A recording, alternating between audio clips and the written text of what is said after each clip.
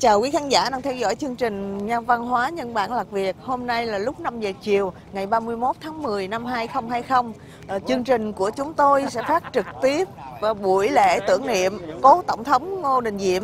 Và trước khi ờ, vào cái ngày lễ chính thức, thì ờ, chúng tôi muốn giới thiệu với quý khán giả một cựu quân lực Việt Nam Cộng Hòa, đó là anh Đỗ Sơn sẽ có đôi điều ờ, chia sẻ với ờ, quý khán giả. Dạ anh, anh Sơn ơi, anh Sơn. Một hai quá. Dạ.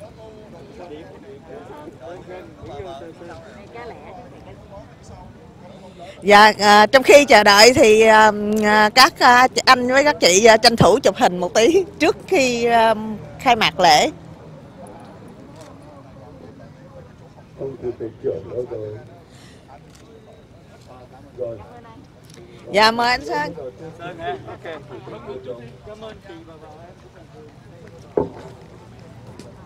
có cần cầm hay là cô muốn cầm? Cầm cầm. Anh cầm anh nói.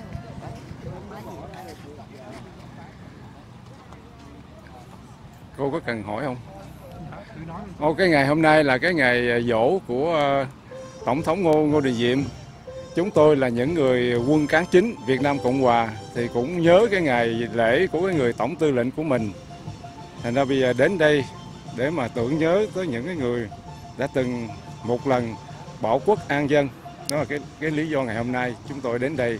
Mặc dù là cái ngày hôm nay là cũng chưa được thoải mái lắm, nhưng tụi này cũng vẫn cố gắng để mà làm một cái lễ để tưởng nhớ đến cái vị tổng tư lệnh của mình.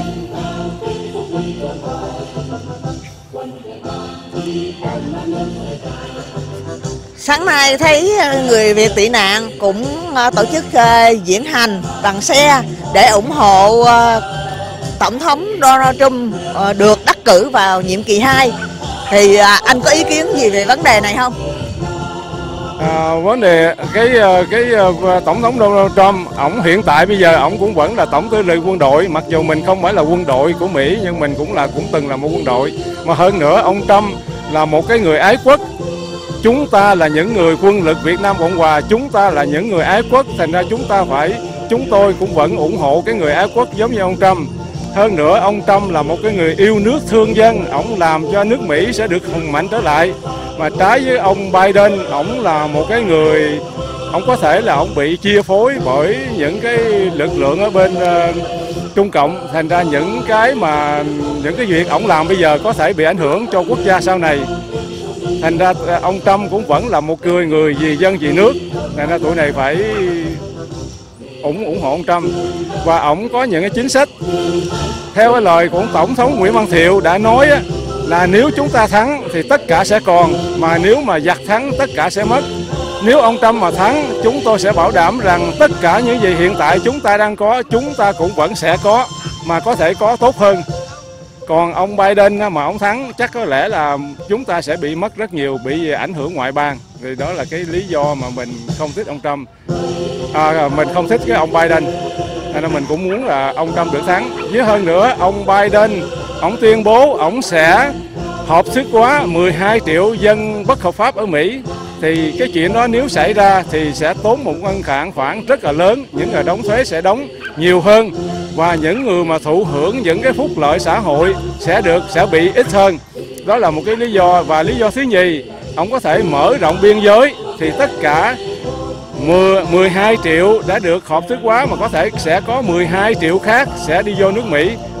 Bị gì cái cái cái hàng rào biên giới có thể là ờ, ổng sẽ mở cửa và theo mình biết tất cả những dân tộc trên thế giới người nào cũng muốn được vô Mỹ. Mà nếu mà không có sự kiểm soát như vậy thì có thể là một số lớn cái người mà ngoại quốc sẽ vô Mỹ sẽ làm xáo trộn cái xã hội của mình làm mất cái sự an cư lạc việc của mình. Đó là cái lý do mà ông Trump cũng vẫn là một người bảo vệ cho cái cái cái cái cái cái, cái dân của mình à, sống trong nước nước Mỹ. À, có có. Dạ, cảm ơn anh Sơn nói về vấn đề mở cửa biên giới rất là nhiều.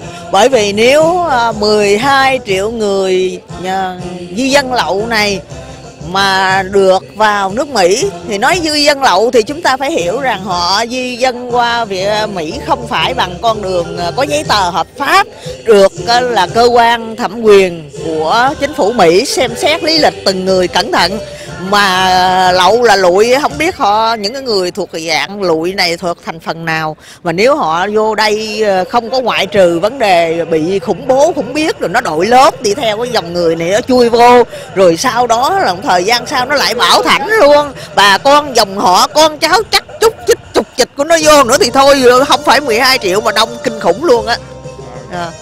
Và còn một cái nguồn tin nữa thì trước khi bà Hillary bà đã hứa bà sẽ cho 250 ngàn người Hồi giáo bên Âu Châu sẽ định cư ở Mỹ. Nếu ông Biden trúng cử có thể ông sẽ tiếp tục sẽ cho có thể là 250 ngàn người Hồi giáo đi vô nước Mỹ. Mà hiện tại những cái người đó ở bên Âu Châu họ rất là loạn họ, họ làm cho một cái xã hội Âu Châu ờ, rất là sẽ sẽ bị nhũng loạn và ông Biden ông đã nói rằng ông sẽ mong ước được dạy Hồi giáo ở trong cái trường tiểu học. Trong khi đó ở Mỹ này công giáo cũng chưa được dạy trong trường học, Phật giáo cũng chưa được dạy trong trường học mà ông Biden ông dám hứa là ông ông dám mong ước rằng sẽ dạy Hồi giáo trong cái trường tiểu học hay là trường cái hệ thống trường công ở Mỹ. Quý vị cứ tưởng tượng á, trong kinh Hồi giáo là những người mà không phải là Hồi giáo là những cái người nó gọi là infidel là có thể những cái người đó sẽ bị trừng phạt cái nước Mỹ này là cái tự do tôn giáo ai muốn theo tôn giáo nào cũng được. Thì nếu mà đưa hồi giáo vô sẽ ảnh hưởng một cái, cái, cuộc sống của người dân Mỹ. Đó là một cái lý, lý do nữa mà mình không muốn bầu cho ông Biden.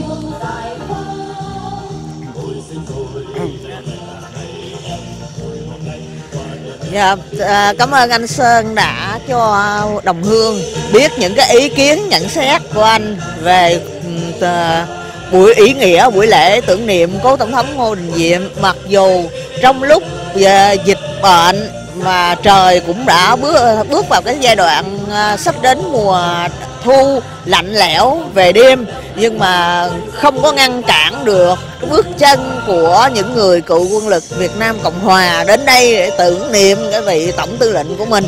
Đồng thời bày tỏ ý kiến những cái việc mà lợi hại khi mà ủng hộ ông ờ, Donald Trump hoặc là ông ờ, Biden. Vâng, cô nói đúng theo cái tâm trạng của những người cựu nguyên nhân của chúng tôi. Thời trước năm 1975, cái thế hệ của chúng ta đã chứng kiến là một cái lần tổ quốc lâm quy, lâm nguy hồi trước 75 mà mình chưa có làm hết cái sức mình để mình bảo vệ cái đất nước của mình. Hiện tại bây giờ là cái thời điểm tổ quốc đang lâm nguy.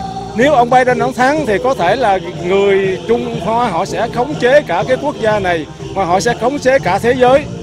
Đó là một cái lý, lý do hiện tại bây giờ tổ quốc lâm nguy. Mọi người già trẻ gái trai bất cứ một cái người nào cũng phải đều trách nhiệm để mình do something mình làm như thế nào để mình bảo vệ cái tổ quốc của mình nhưng cái chuyện mà dễ dàng nhất hiện tại bây giờ chỉ ra bầu cho ông Trump là những cái chuyện mình có thể làm được mà làm ai mà những cái người rất là dễ dàng để làm đó là một cái cái chuyện là rất dễ mà cái kết quả rất là lớn đây là tổ quốc lâm nguy mọi người con dân của nước Mỹ phải có bổn phận đứng lên để bảo vệ cái tổ quốc của mình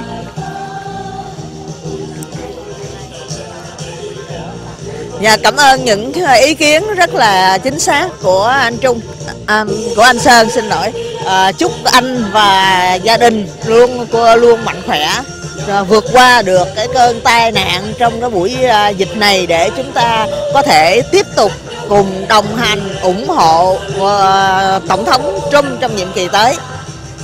Dạ. Vâng, thôi cảm ơn chúc đài uh, thăng tiến. Đài nhân bản làm việc luôn luôn lúc nào cũng thăng tiến. À, thăng tiến để phục vụ đồng bào. Cảm ơn cô gặp lại cô tụi này rất vui. Sao chào dạ, tất cả mọi người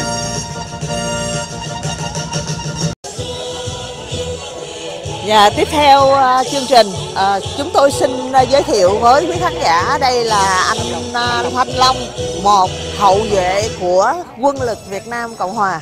Và xin anh Long vui lòng uh, giới thiệu cho quý khán giả biết là anh uh, tham dự cái buổi lễ ngày hôm nay và cái ý nghĩa như thế nào.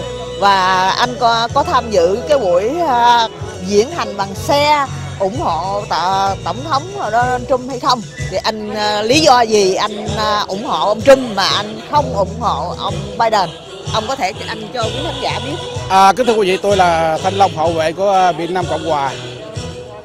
Là hôm nay á, tại vì cái hôm nay tôi có mặt hôm nay là cái ngày à, à, tưởng niệm của ông à, tổng thống Ngô Đình Diệm. Mà Ngô Đình Diệm cũng là một cái Việt Nam Cộng Hòa ngày xưa, là lúc thời cha tôi đã đi lính cho cho ông Diệm. Thì hôm nay tôi đến đây là tôi cũng à, tham gia à, à, tưởng nhớ tới ngài một một à, lời cầu nguyện. Và còn câu hỏi tôi vấn đề mà đi diễn hành ông Trump thì hồi sáng cái mình hồi trưa mình có đi diễn hành ông Trump tại vì mình rất ủng hộ ông Trump. Tại vì ông Trump là một người tốt một người mình đáng đáng tôn trọng ông đáng ủng hộ ông. À, nhưng mà anh có thể nói rõ cho quý khán giả biết không? Tại vì ông ờ, Biden cũng là một cái người có rất là nhiều dân Mỹ ủng hộ. Ok, bây giờ tôi phân tích. Bây giờ mình nhìn á, cái một cái gia đình, ông Trump, có người nào có tiếng, có tâm gì không?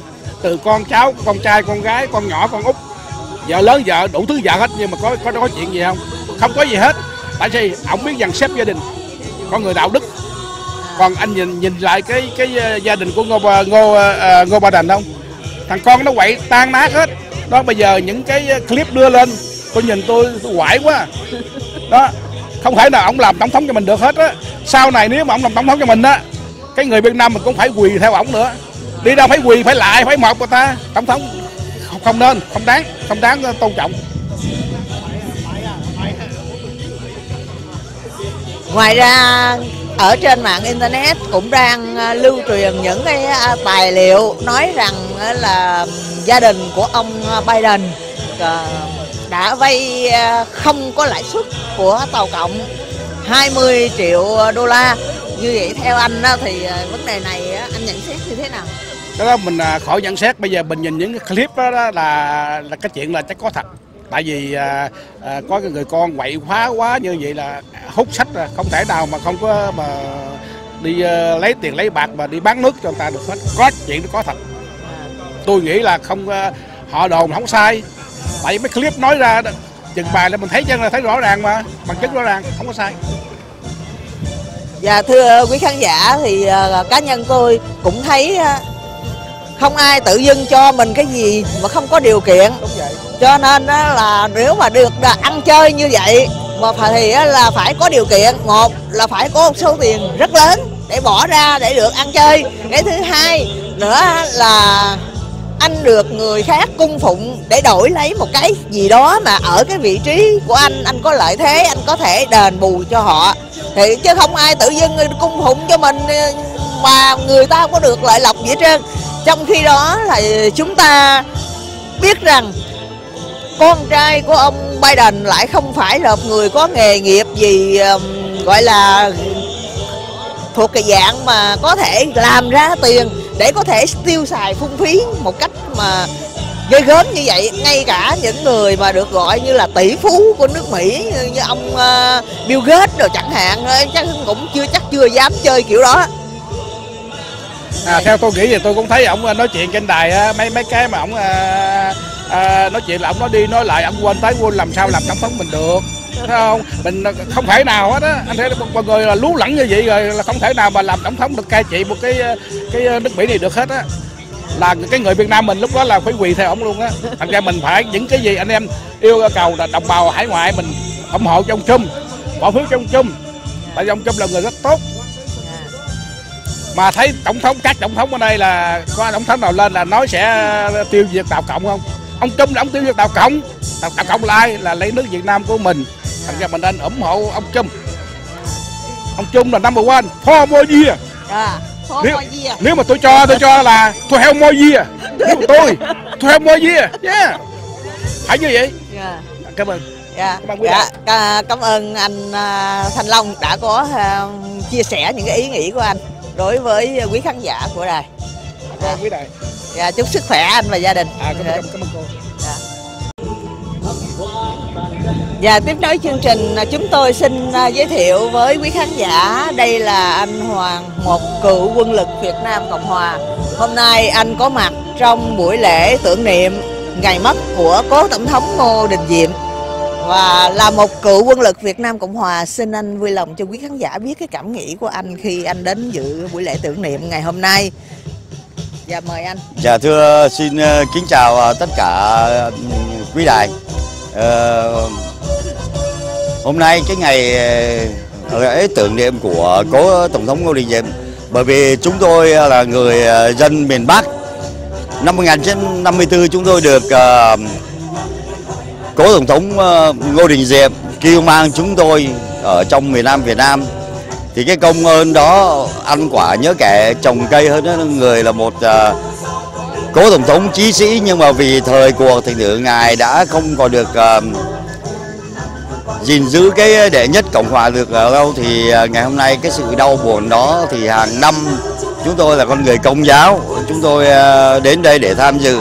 Thứ nhất là, đáp à, lại cái lòng à, yêu mến của một à, vị tổng thống rất là cương trực. Thì cái điều đó hàng năm chúng tôi cũng chỉ biết đến để cầu nguyện cho trời Phật có lòng thương cho linh hồn của ngài và bào đệ. Rồi tất cả quân nhân cán chính Việt Nam Cộng Hòa đã vì hai chữ chính nghĩa tự do nằm xuống để bảo vệ hai chữ tự do cho miền Nam Việt Nam thì ngày hôm nay ờ, chúng tôi ờ, anh em chúng tôi có mặt ở nơi đây dạ Dạ thưa anh Hoàng, ờ, ngày hôm nay chúng tôi cũng nhìn thấy những cái đoàn xe Jeep của quân lực Việt Nam Cộng Hòa cũng uh, diễn hành để uh, ủng hộ Tổng thống Donald Trump. Anh có thể kể lại cái sự việc mà diễn hành ngày hôm nay và cái lý do tại sao anh ủng hộ ông Donald Trump mà anh không ủng hộ ông Joe Biden? Dạ thưa chị à, nếu mà nói về à, trên cái đất nước Hoa Kỳ một- là một cường quốc, thì à, trong cái sự tự do dân chủ của mỗi một con người, thì tôi là một người Việt tha hương, một người Việt Nam Việt Nam Cộng Hòa, chứ không phải là người Việt Nam của xã hội chủ nghĩa thì thời gian tôi hiện diện có mặt ở nơi đây được à, đất nước Mỹ kêu mang à, cho chúng tôi và tất cả những người tha hương. Thì à, với cái những, cái sự việc mà tổng thống 4 năm vừa qua đã thực hành thì tôi thấy đây là một người tổng thống dám nói để mà với thế giới cho mọi người biết nước Mỹ chúng ta là phải hùng mạnh. Và vấn đề là ăn trên thương trường là phải có cái chính nghĩa để cho nó công bình. Cái điều đó tổng thống đã làm thì tôi nhận thấy rằng tổng thống ờ, Donald Trump, ông đã làm được ờ, cái việc ờ, rất là có ý nghĩa và muốn xây dựng cho cái đất nước Hoa Kỳ mỗi một ngày một hùng mạnh. Bởi vì ông đã giàu có, ông có vợ đẹp, con khôn, mà ông không màng danh lời ông vẫn ra phục vụ cái tổ quốc Hoa Kỳ cho nhân dân. Mà tổ quốc Hoa Kỳ là ai? Là những người hiện diện đang sống ở trên cái đất nước tự do này. Đó là cái điều mà ông đã hy sinh. Ông ra, ông là làm cái điều, cái nghĩa cử đó, tôi cảm thấy là ông là một người được có thể là thiên tử trời sai ông ông ra để ông gánh vác, ông sẽ làm cho nước Mỹ hùng mạnh. Ờ, đó là cái điều hôm nay tôi ờ, buổi sáng chúng tôi ờ, nói chung là cả một một tháng, hơn một tháng nay, anh em chúng tôi là thường thường là cũng có xuống đường để ủng hộ cho tổng thống và cầu nguyện cho tổng thống sẽ được à, thắng à, cử trong à, ngày mùng 3 tháng 11 đó là cái điều anh em chúng tôi hy sinh bớt chút thời gian để mà ủng hộ tổng thống Donald Trump. Xin cảm ơn dạ. Dạ kính thưa quý khán giả, quý khán giả vừa nghe anh Hoàng trả lời và giải bày cái cảm nghĩ của anh. Đó là người Việt Nam, Việt Nam Việt Nam Cộng Hòa chứ không phải người Việt Nam xã hội chủ nghĩa thì phải ủng hộ tổng thống ờ, Donald Trump. Đấy, rất một cái một cái câu trả lời rất là hay. dạ thưa cảm ơn ờ, chị ờ, phong tần dạ xin cảm ơn quý đại dạ Dạ, dạ cảm ơn anh. dạ thưa xin chào Dạ Dạ, thưa quý khán giả, trước khi ờ, vào buổi lễ tưởng niệm cố Tổng thống Ngô Đình Diệm thì ờ, chúng tôi có nhìn thấy anh Hiệp Lương. Xin giới thiệu với quý khán giả đây là anh Hiệp Lương và trong tất cả những buổi uh, rally để ủng hộ Tổng thống Trump thì chúng ta đã đều nhìn thấy có mặt anh Hiệp. Có thể nói là anh Hiệp đi ủng hộ Tổng thống Trump trên từng cây số lần nào cũng nhìn thấy và xin à, anh Hiệp cho quý khán giả à, được biết anh cảm nghĩ anh về cái ngày lễ tưởng niệm cố tổng thống Huỳnh Diệm và sau đó anh có thể cho quý khán giả biết lý do tại sao anh ủng hộ tổng thống Trump mà anh không ủng hộ ông Biden. Dạ mời anh. Dạ, dạ. Xin uh, kính chào quý đài. À, Hiệp có một cái cảm tưởng và lúc nào cũng nghĩ đến đất nước Việt Nam và hàng năm là kỷ niệm ngày dỗ của Tổng thống Thiệu thì các binh chủng, các hội đoàn của quân lực Việt Nam, Cộng Hòa đã tổ chức ở tại tượng đài chiến sĩ vượt Mỹ. Thì anh em chúng tôi lúc nào cũng phải tham gia sát cánh để nhớ lại những gì của ông cha mình ngày xưa.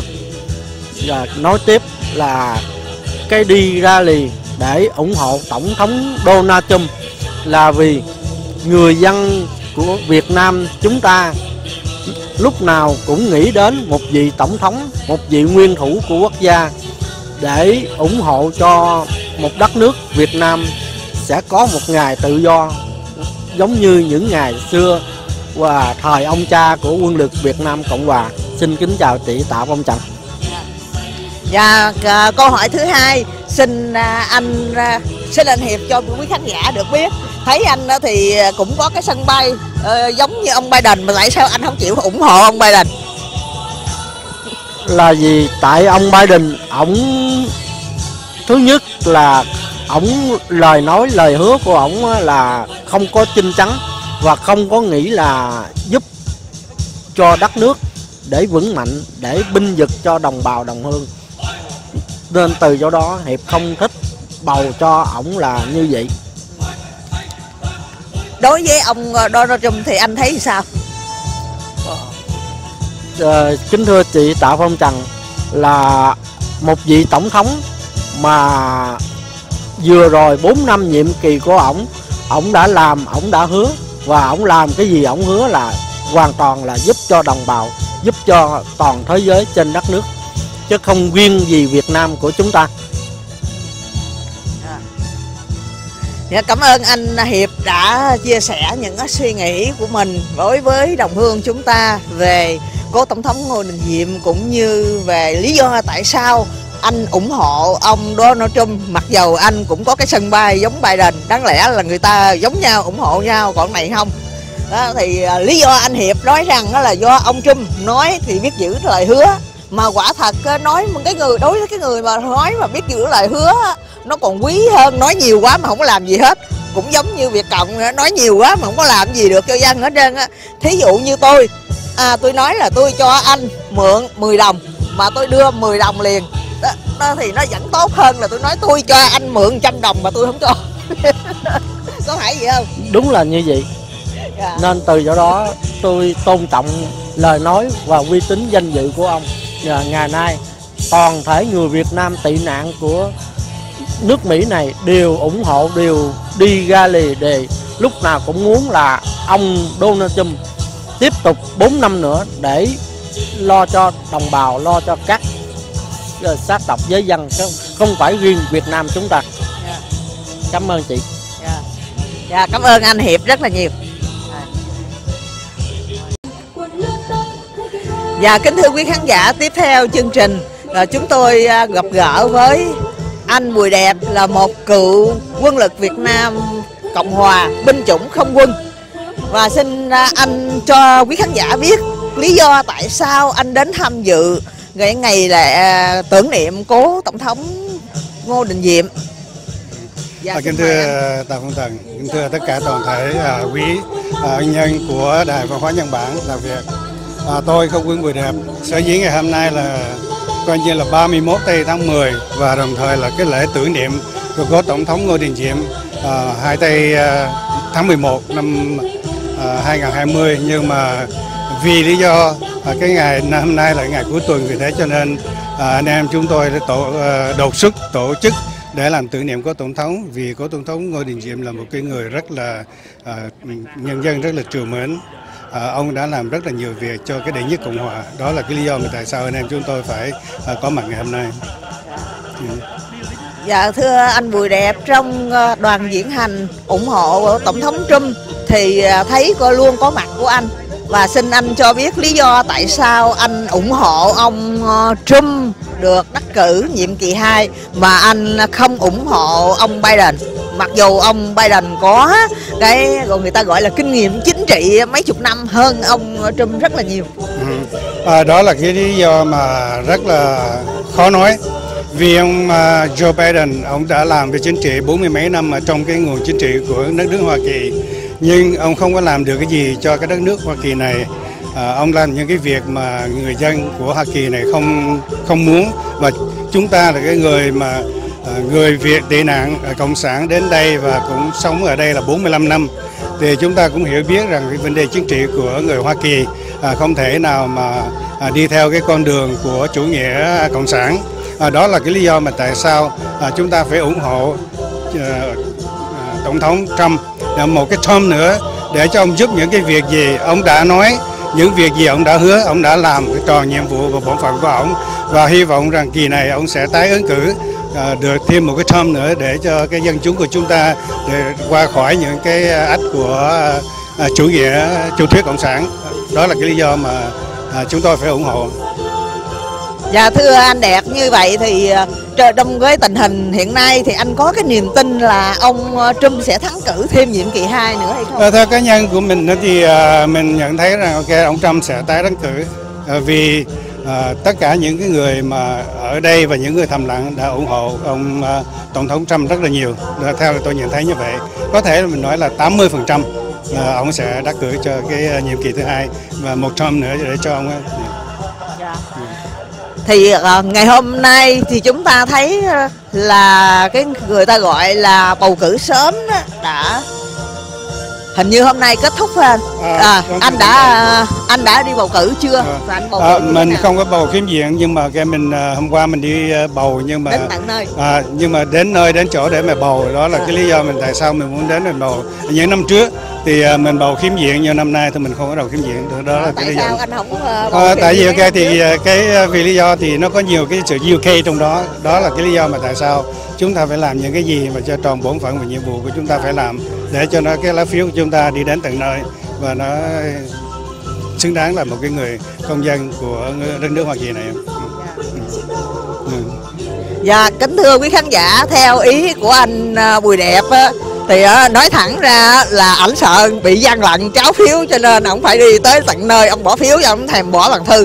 Đó, mà đó là bởi vì đó bầu cử là cái quyền chứ không phải là cái nghĩa vụ công dân. Nhiều người nghĩ rằng đi bầu cử đó là nghĩa vụ công dân không phải. Thí dụ như những người mà mới đến à, nước Mỹ này ờ, người ta vẫn ờ, có kinh doanh hay có làm cái gì đó người ta vẫn phải đóng thuế. Hay là người có thẻ xanh vẫn phải đóng thuế mà có thu nhập vẫn phải đóng thuế rồi cái người không có thu nhập gì hết trơn. Đó mà đi ra đường khi chúng ta tuân thủ cái luật giao thông chẳng hạn thì là tất cả những cái đó người ta gọi là nghĩa vụ công dân. Và bắt buộc phải làm không làm là chết. Mà à, kể cả anh đi ngoài đường mà anh phải tuân thủ luật pháp ông không tự tuân thủ luật pháp đó thì cái đó thì bị cảnh sát bắt phạt. Đó là cái nghĩa vụ bắt buộc chúng ta thực hiện. Còn bầu cử là quyền lợi quyền của mình là gì là mình dùng cái quyền quyền lực từ lá phiếu của mình mình có quyền cho ai làm tổng thống là mình cho mình không thích mình kéo xuống đó là lật đổ ở Mỹ này gọi là lật đổ chính phủ một một năm tới là bốn năm mới lật đổ tới một lần đó. Yeah.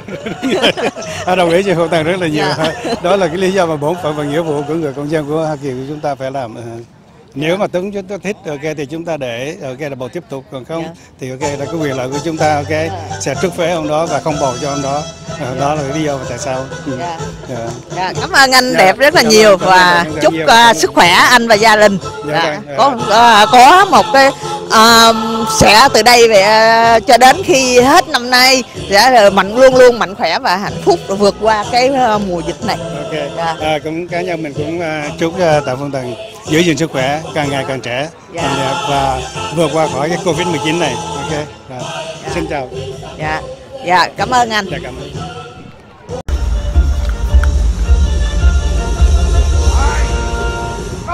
liên quân chào tay trao lễ rước quốc quân kỳ, toán quốc quân kỳ tiến vào vị trí hành lễ.